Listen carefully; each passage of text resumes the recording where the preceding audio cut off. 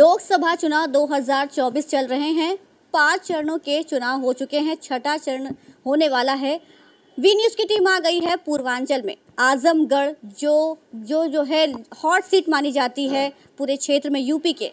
हमारे साथ बात करने के लिए मौजूद हैं अखिल भारतीय अहिर महासभा के राष्ट्रीय संयोजक आशुतोष अहिर जी। इनसे जानेंगे जो क्षेत्र है, कहा जाता है यादवों का, और साथ में जो निरहुआ सर हैं, दिनेश लाल यादव जी, जो सांसद हैं तो क्या राय है कांटे की टक्कर है, धर्मेंद्र यादव जी जी खड़े हुए हैं सपा की ओर से, क्या कुछ कहेंगे?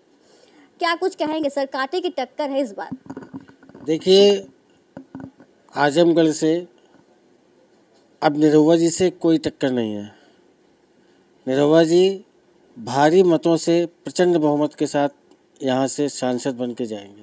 आप इटावा के ही रहने वाले हैं तो क्या कुछ उन्होंने वहाँ यादवों के लिए किया है? यादवों के लिए उन्होंने अपने गाँव को सैफई को बहुत अच्छा बनाया है। आप इटावा में जाइए सैफई के अलावा ज़रा और गाँव में घूम के आइए तो कोई ख़ास इटावा का विकास नहीं हुआ। हाँ विकास हुआ है केवल सैफई का हुआ है। और उत्तर प्रदेश में लगभग तीन करोड़ से ज़्यादा यादव हैं। उन्होंने इस 2024 के लोकसभा चुनाव में किसी भी यादव समाज के व्यक्ति को कोई तवज्जो नहीं दी। पाँचों लोकसभा सीट से, तीन लोकसभा सीट से अपने चाचा के लड़कों को, एक लोकसभा मैनपुरी से अपनी पत्नी को और एक कन्नौज लोकसभा सीट से खुद चुनाव लड़ रहे हैं। तो आप खुद ही सोचिए, क्या यादव समाज में कोई इस लायक नहीं है कि लोकसभा का चुनाव लड़ सके? तो अखिल भारतीय अहिर महासभा का। और अंदर से क्या अब तो यादव समाज खुल के उनका विरोध कर रहा है कि ऐसा परिवारवाद नहीं होना चाहिए, समाज के और लोगों को भी मौका देना चाहिए। तो इसलिए मैंने यहाँ भी फीडबैक लिया। मैं यहाँ कई करीब पिछले चार पाँच दिनों से हूँ आजमगढ़ में। यादव समाज का पूरा समर्थन निरहुआ जी के साथ है। मैंने काफ़ी गाँव में दौरा किया, देखा, गया, मिला सबसे। तो यादव समाज का पूरा समर्थन निरहुआ जी को है और आप देखिएगा, चार जून को निरहुआ जी बहुत ही अच्छे वोटों से विजयी होंगे। सर, जिस तरह से आपने कहा यादवों का, बिल्कुल वो अपने परिवारवाद को लेके चल रहे हैं तो अपोजिट पार्टियाँ जो है वो भी बीजेपी को घेरती हैं कि परिवारवाद लेके चलती है। अगर हम ब्रिजभूषण जी की बात करें तो उनके बेटे को भी टिकट दिया गया है तो इस पर क्या कहेंगे? नहीं परिवारवाद ये परिवारवाद हो गया।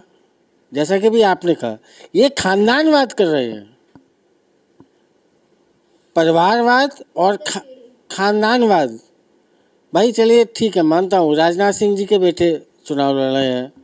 और ब्रजभूषण शरण जी के बेटे चुनाव लड़ रहे हैं। इनके यहाँ तो चाचा चाचा के लड़के दूसरे चाचा के लड़के। पार्टी तो अलग है ना सर? नहीं एक हो गए सब। तो गठबंधन में हो गए ना? हाँ गठबंधन में नहीं है वो वो पार्टी उन्होंने ख़त्म कर दी।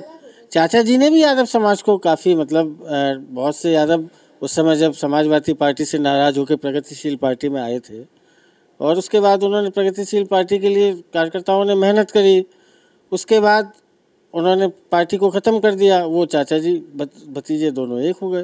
क्या सर यादव इस समय बहुत ज़्यादा नाराज़ है?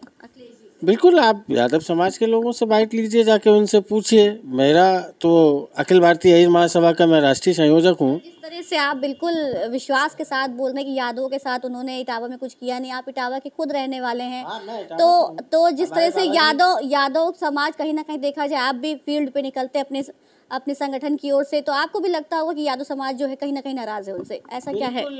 नाराज़ है इस बात को लेके तो बहुत ही ज़्यादा खफा है कि इन्होंने सिर्फ़ और सिर्फ़ राजनीति में अपने परिवार को आगे बढ़ाने का काम किया है और वो साक्षात प्रमाण दिख रहा है। उत्तर प्रदेश में तीन करोड़ से ज़्यादा यादव है। क्या कोई भी ऐसा यादव चेहरा नहीं था जो उत्तर प्रदेश से लोकसभा का प्रत्याशी बन सकता था?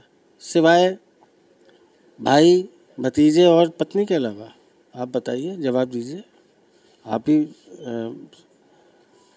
समाज में घूम रही हैं, लोगों से मिल रही हैं तो मेरे हिसाब से तो कुछ ज़्यादा ही हो गया। परिवारवाद नहीं, अब तो खानदानवाद चल रहा है। और पिछले पंद्रह वर्षों में मैंने यहाँ आके देखा, लोगों से पूछा कि सपा और धर्म, समाजवादी पार्टी के प्रत्याशी और निरहुआ जी में यहाँ पे क्या अंतर है? तो लोगों का यही जवाब था कि जो काम पिछले पंद्रह वर्षों में आजमगढ़ में नहीं हुआ, उस, हुआ, उससे कई ज़्यादा काम इन्होंने पंद्रह महीने में करके दिखाया निरहुआ जी ने।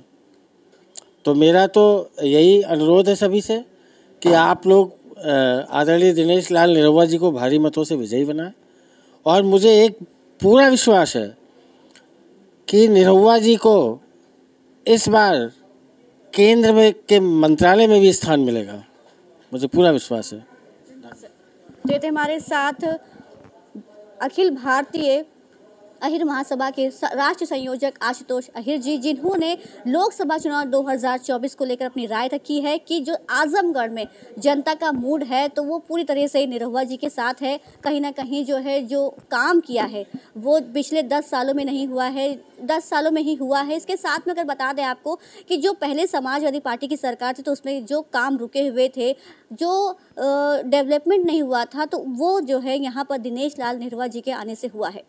वीडियो जर्नलिस्ट अनुज के साथ मनु तिवारी, आजमगढ़। देश विदेश की ताज़ा खबर पाने के लिए हमारे चैनल वी न्यूज़ को सब्सक्राइब करें और बेल आइकन दबाना ना भूलें।